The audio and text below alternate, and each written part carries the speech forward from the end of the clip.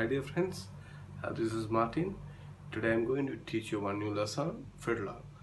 Fiddler played um, uh, double stopping and pizzicato. Uh, here we need to play very slowly first, then gradually increase the speed. Okay, here we go.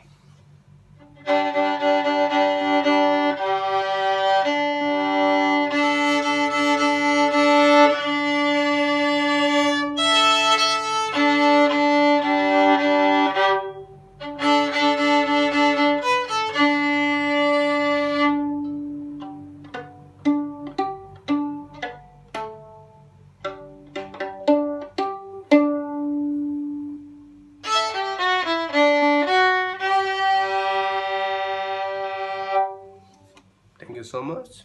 If you like my video, please subscribe and share.